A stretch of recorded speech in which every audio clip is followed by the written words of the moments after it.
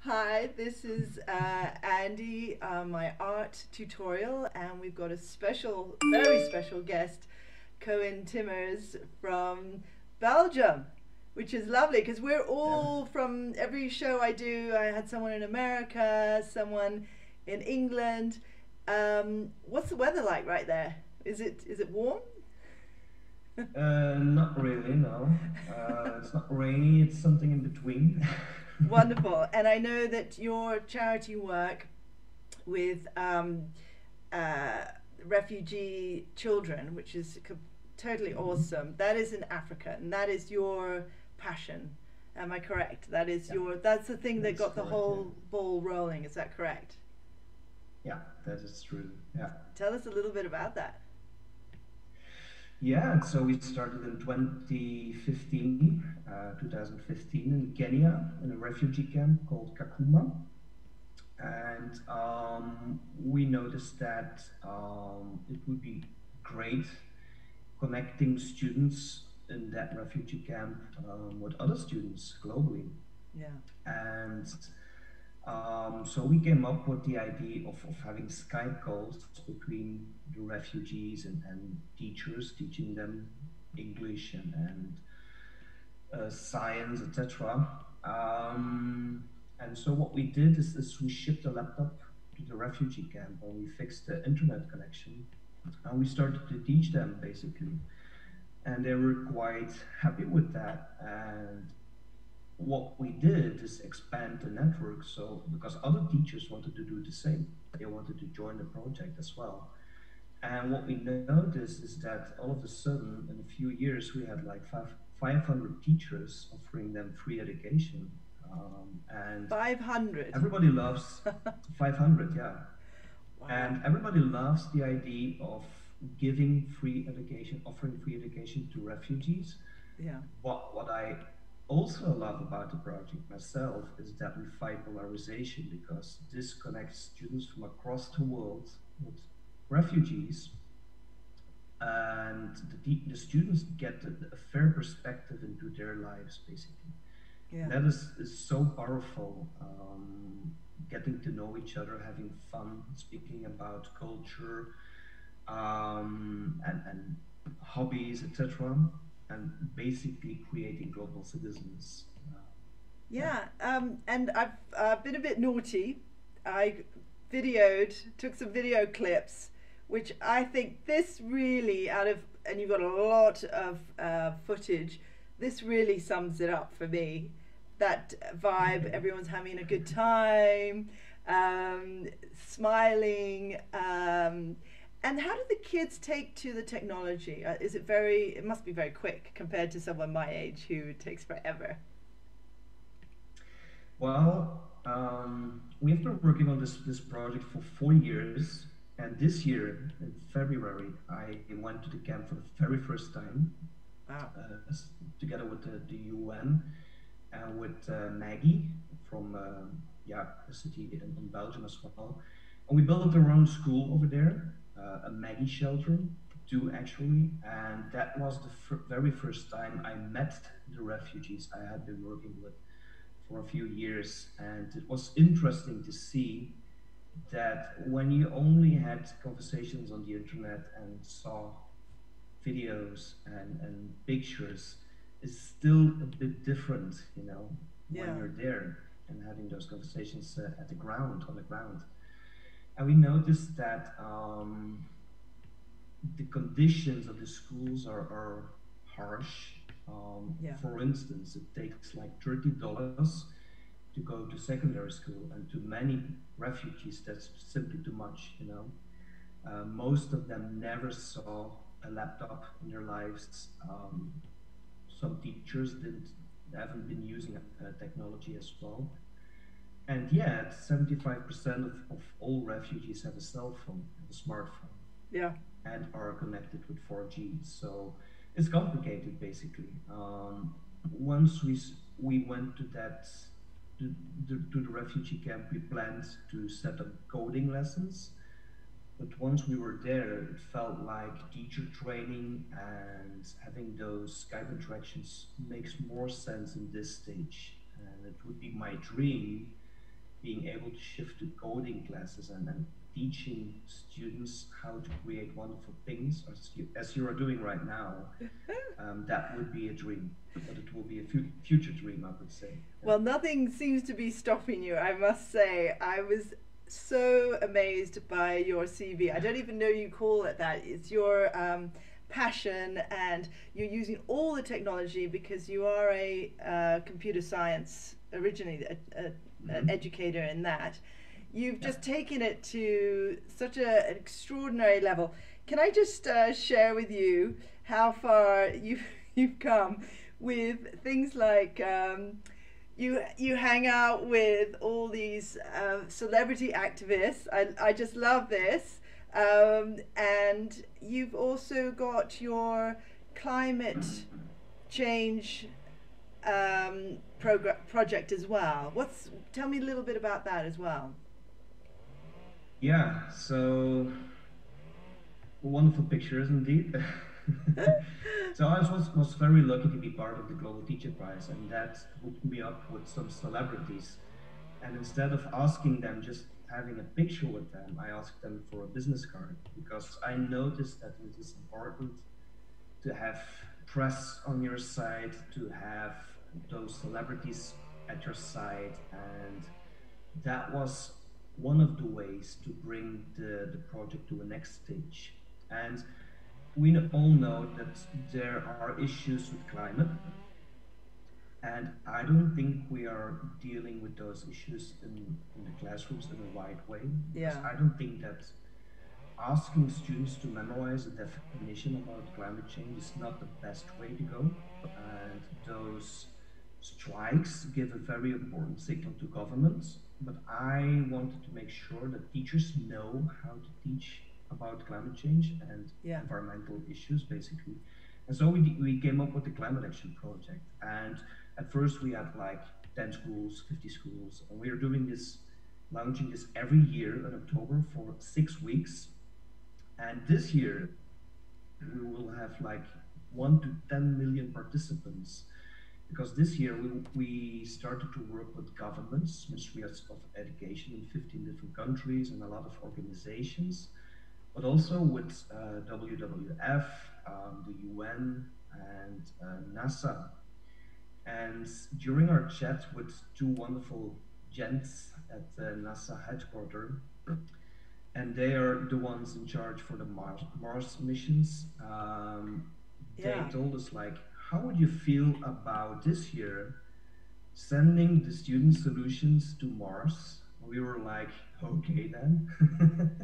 I so love that. that is what we are, are going to do this year, and I'm really, uh, really, really happy about this because this is a wonderful opportunity for students, and that is basically what this is all about. You know, offering students a lot of great opportunities a different way to learn about climate.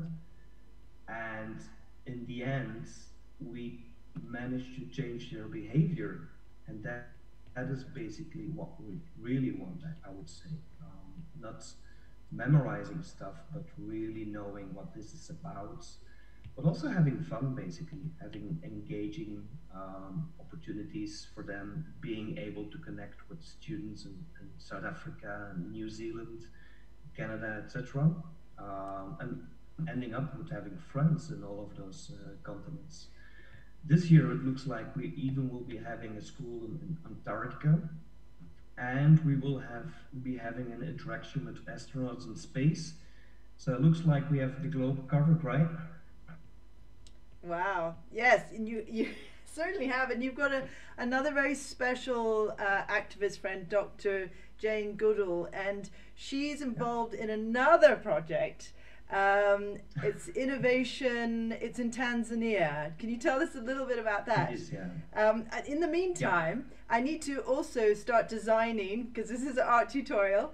Your um, uh, climate change logo. Is that correct? Is that something you would yeah. like me to do? That and then, yeah. yeah. yeah. So let's. Um, I've got I've got the this first drawing, and I'm kind of what we call facilitating everything that you're saying. So I've got the computer. I've got your. Is that correct? That is your logo. This one um, with in the blue on the computer. Is that the logo? It is, you, yeah. Yeah. But you say you, Yeah, you're looking for something now that is going to be more um, slightly different. What what would you like for your climate action, um, climate change design? Well, you're the expert. That's Something true. Fresh. Um, the interesting part about the logo is that um, it's this project is all about surprises basically, and there was one teacher in um, Portugal, Manuela. and She sent me a picture, and they made like a drawing, a, a, a mural on their school. So the logo is at their school forever um, and keeps reminding the students about this project. So don't change it too much because Well, that's- she yes. be depressed. so what I probably should do here is we we de- definitely do not want to ruin the logo because I, I personally I think it's stunning, but I, I know that you've got this sort of quality uh, that we can stick with in the drawing style, and what I mean by that is. Uh, let's imagine I'm going to color this in, and then you've got this uh, lovely gray uh, underneath. Wow, I already like it. Yeah. so I think you wanted to. Um, we did luckily have a chat um, with a few WhatsApps uh, about the good and the bad side of climate. So we could design a really snazzy uh, image where we've got the sort of the chimneys with the smoke, um, and Mhm. I'll just remove that. I'm going to stick with the uh, just the white. So we've got the chimneys, and well, we'll colour those in. Uh, but we also want to do something probably to do with uh, the trees because you had that amazing tree initiative. Uh, Mhm. so I'm just going to throw this out at you. So we've got a child's hand and a tree. Um, so we could play on the fact that this one here looks a little bit like a chimney. Mhm. and and play around with that with uh, images of children and education and computers so we could have all those little images maybe around the globe sort of mix it up Yeah. how do you feel about that so i'm going to wonderful, yeah. so yes so so uh, i will s- literally facilitate what you're saying and then i can cut and paste and move things around and we, we should have a really great promotional maybe call it a poster rather than a logo how's that so sorry Yeah. i interrupted you you were talking about the kids and the initiatives and you've got uh, it spread over is it six continents with Six- these yeah, seven continents. seven sorry seven All of them, yeah. Um, the great thing is is that teachers keep sending messages about their initiatives and, and what their students have been doing and it's just I was so overwhelmed last year. Um, like for instance, Andrews from Malawi, he started to plant trees. I met him in Dubai, and he told me like, you know, he started to plant 60 million trees, and I was like, what? That much? With the, the support of the president and organization, which is keeping track of the trees by developing an app, etc., etc., and, and yeah, um, we had Christine. Um, she 3D printed coral reefs in Canada. We had Kate in Ireland, and they invited the, the Minister of Environment to the classroom.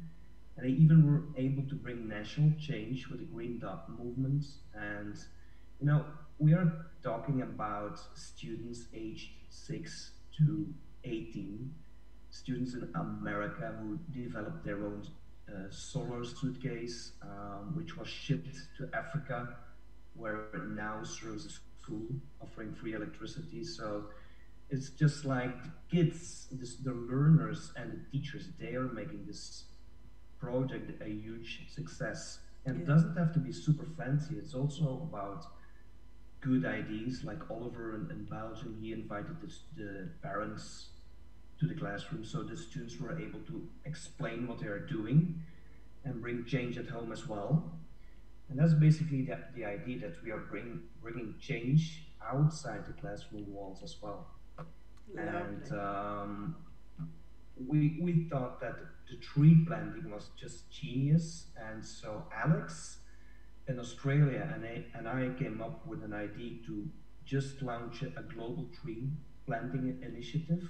Yep. We called it Plant Ed, Ed from Education. And during two single weeks, we planted one and a 1.1 million trees. And now we already know that the Philippines, they are going to plant 1 million trees during one single day. I mm-hmm. didn't know this, but in the Philippines, there's a law that every student who graduates has to plant 10 trees. That's just by law. They have to do that. And that's just so interesting to get to know those facts. I think uh, it's, it's learning more about the world. Uh, I love that. Instead of using, yeah. I'm just going to do a, a, the law. okay. So I'm taking notes. Can you see what I'm doing? Which is kind of fun, I, and uh, I, and then I'll polish it up, I, and it's all happening beautiful. I don't want to interrupt you because you are doing a fantastic job. So you were saying they've got to, by law, they have to plant how many trees? Ten trees. Ten. yeah. Ten yeah. trees. Love that. I love that rule. Um, and uh, wow, and so the tree planting, the the ideas. Um, oh, I must put a computer in there. Hold on. um, and we want on that computer um, coding. I think that's a really big part. If you don't mind me, um, the impression I got from all your coverage was mm-hmm. how important it is for kids to learn to think, and coding does that. Can you tell us lots about that? I know that's your passion, and that's what yeah. kicked the whole thing off. It is my passion, but at the, at the same time, we have to realize that not every child uh, who is in this project has access to technology, but we try to do our best. And what happened during the past years is that students created their own world in Minecraft and the interesting part is that they created an eco-friendly world, world in 50 different countries. So at every during every moment of the day, every single moment of the day, somebody was creating something in that world, which could be solar panels or, or a hyperloop or some new inventions. Um, we also had students in Tunisia. They created their own video game, and the interesting part about technology is that it got a real upgrade during Corona. Um, yeah. It was more like an option. I think teachers trying to find ways to make learning more interesting or more impactful or authentic, uh, more collaborative. But all of a sudden, during COVID 19, teachers had to shift to technology.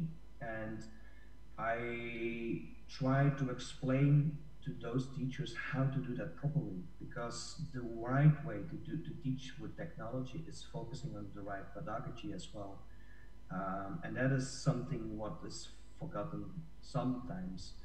And this is also part of the climate action project that we try to explain how you can use technology so that you not only um, try to do something what's really good for your marketing of your school, like using tablets to replace a, a, textbook, but that you can actually transform the way you teach. And the great thing about technology is that it allows to connect students globally.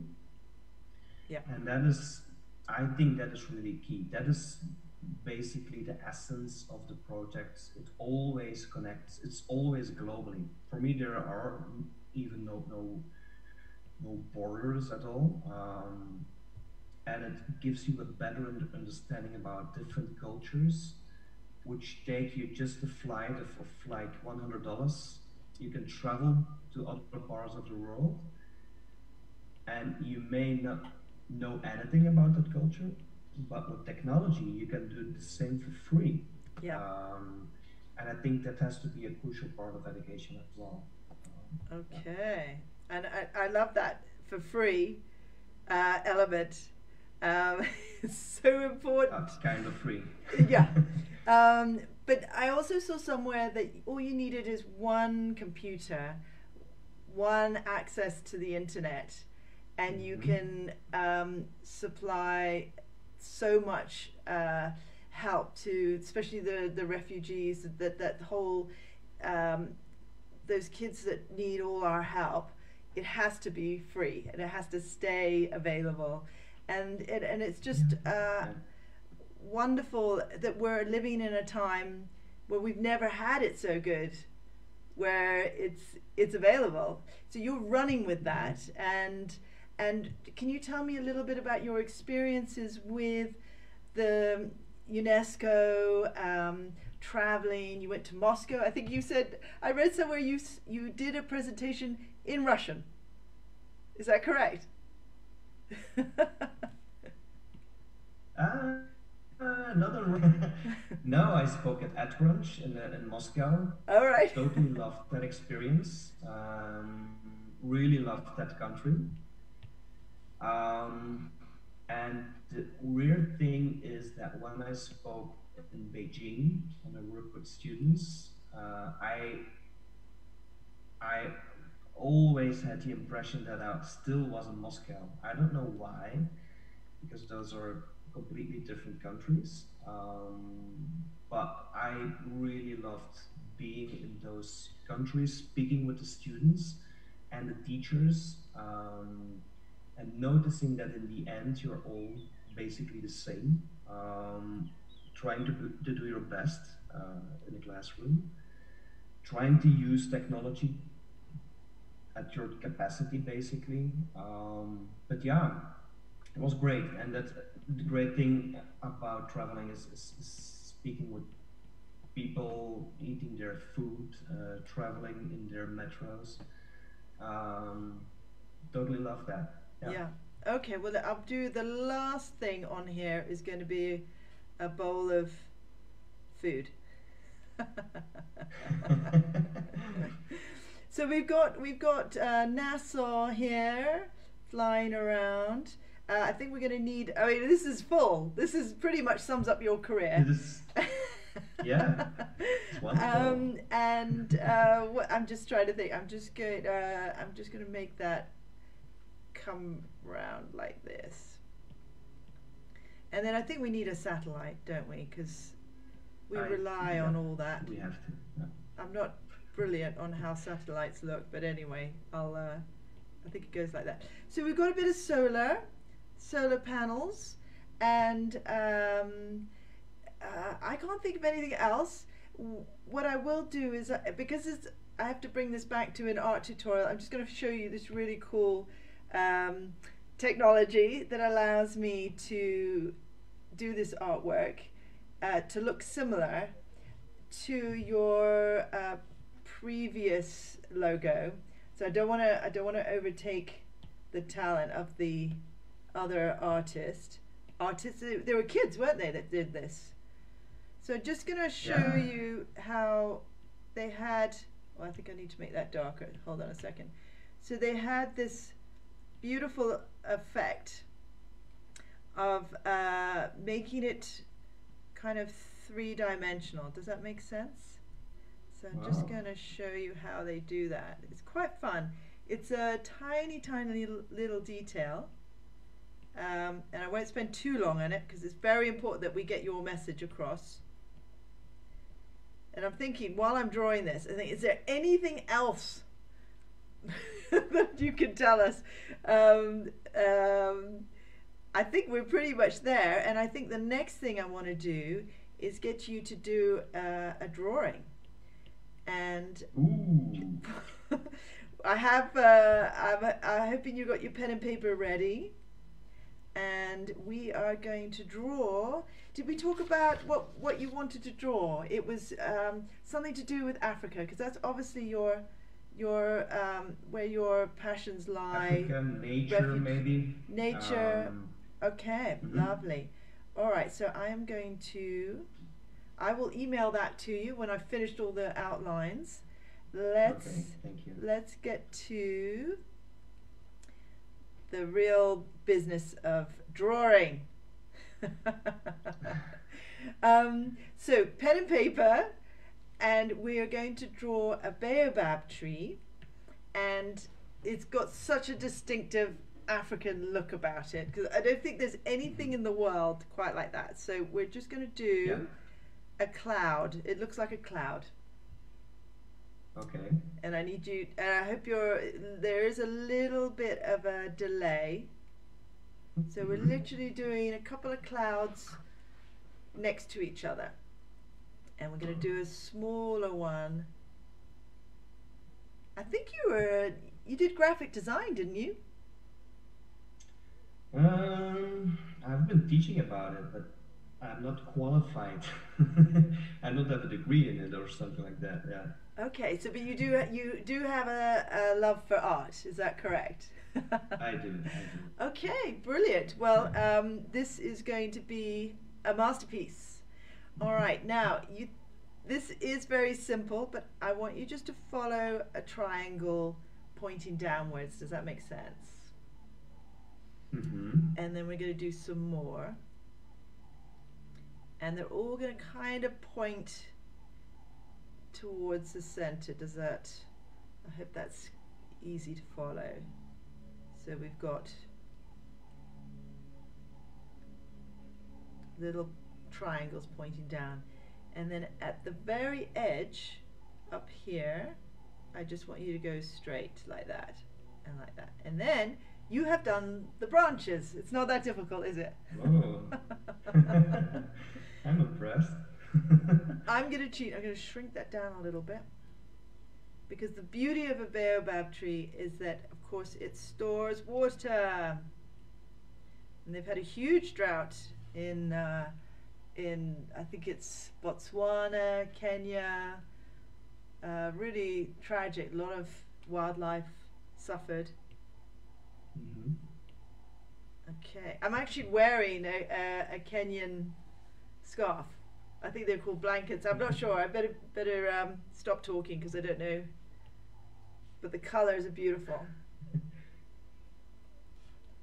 Um, okay, and now we're going to have fun, and we're going to draw our giraffe. Okay. And the giraffes are quite tricky, so let's have a go. And he's reaching up, so we know that giraffes have this kind of weird uh, horns that they use when they're showing Mhm. off and fighting. And this one is trying to reach the tree.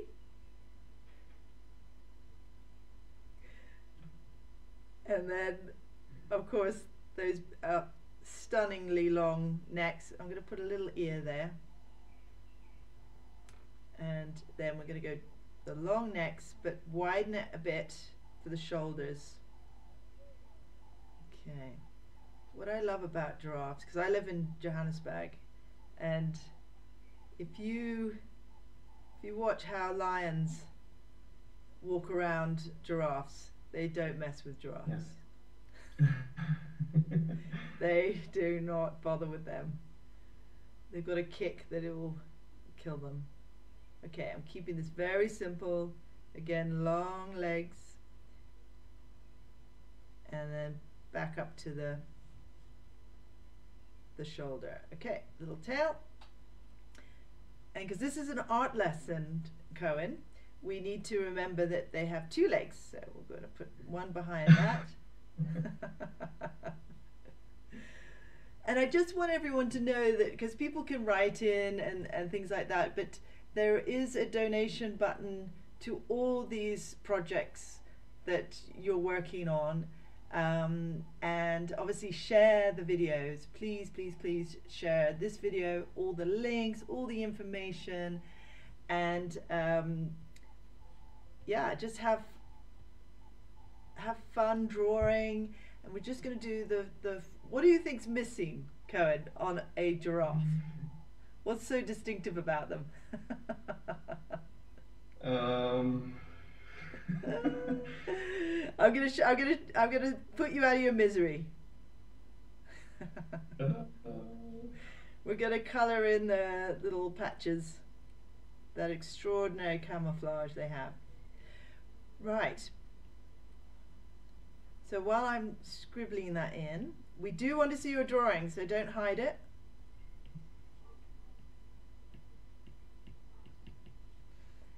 And shall we have a sort of a climate change um, change action theme? I think maybe we'll have him saying something very very simple, really really really simple. But uh, I think we all want to say this to you, Koen. Thank you. Oh, thank you so much. what an inspiration! I I think um, I looked at your all your media coverage, and I just was so inspired. So uh, such a pleasure having you on the on the art show. Let's see your work. Do I need to keep talking? Mistake. You've gone very quiet. When you're drawing, you are very quiet. Yeah. Trying to make sure I'm not making a mess. Is this uh, was this very cruel of me to put you on the spot like this? this is great. So when you think uh, you will you do Yeah. art? Do you do art lessons Uh, online? Okay. I think I I'm so sorry. I didn't mean to put you on the spot. I bet it's going to be good. I don't think you do anything without it being amazing. Okay, let's let's have a look. I just give it a try, right? Oh wow! that is super. You did it. I actually I did uh, push you to uh, a new level, a higher level than what I normally do for my did, my guests. Sorry about I that. like that. so so Thank you so much. yeah, you're welcome and thank you. And please don't hang up because I always love to have a chat afterwards. And uh, Mhm. thank you, everyone. And please donate and get involved plant a tree. Anything else you'd like to say, Koen? I think the only thing what remains me to do is, is really thank you for this. This was extraordinary. Um, I will have a chat with my boy, with my son about giraffe. I'm sure that he will overrule me in drawing an, a, a better version of that. Yeah. So thank you so much for this. Wonderful. Oh, thank you so much. And uh, yes, kids are never told that they're bad at art, so they believe. That's the most important thing. Okay. True. Thank you, and um, hopefully you'll come back one day. Take care. yeah thank you. Thank you, Bye-bye. everyone. Goodbye.